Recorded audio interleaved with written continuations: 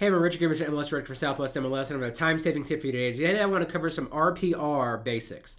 So the way you get into RPR is just right here in Flex under Menu. If you scroll down underneath Products, you can just click on RPR. It should bring you straight in.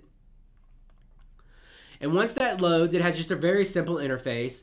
And I'm going to show you two things today. I'm going to show you looking at a property. I'm going to show you running a report on that property.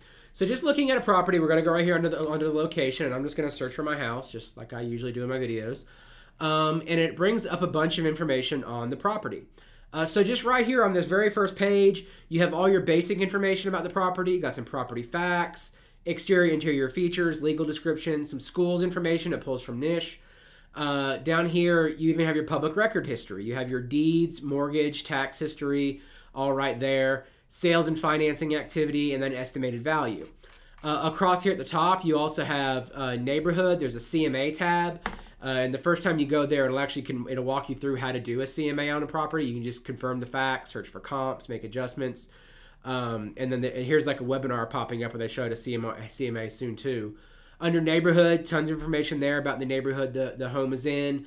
You know, you got market trends, you have housing, people, or economy, or quality of life information. Just tons of information right here available in RPR. And all I had to do was just search for the property and it came right up. Um, another thing that RPR is great for is right up here on the top, you have reports. And if you come under reports here and you click on this one called seller's report, the only thing you have to do is again put the address in or it'll remember the one you just searched for. Make sure you click on seller's report and then scroll down to the bottom here and hit run report. It takes about two minutes. I've already ran one. Uh, so this is the report that comes up on uh, for this for my house. When it's done, it'll ding and a little drop down comes down. You click on that and it opens a report for you. And this is a 71 page report that all I did is is enter the address and hit run report and it does this for me. So this is just a it's a really great way to get a ton of information in your seller's hands very quickly.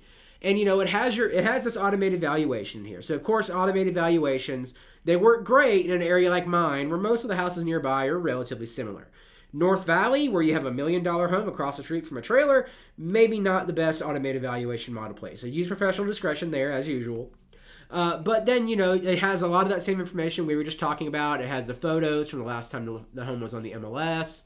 Uh, if you scroll down a little bit more here, you get into some market information, like you have median estimated home value versus median listing price, for example, over time.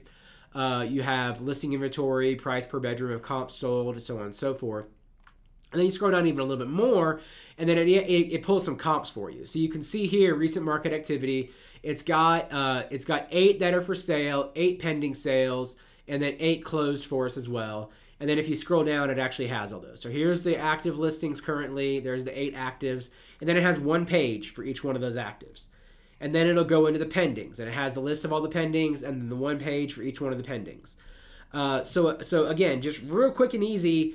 Um, kind of a CMA slash seller's report for you that just gives you a whole lot of information, which is a couple a couple button clicks. So that's RPR for you.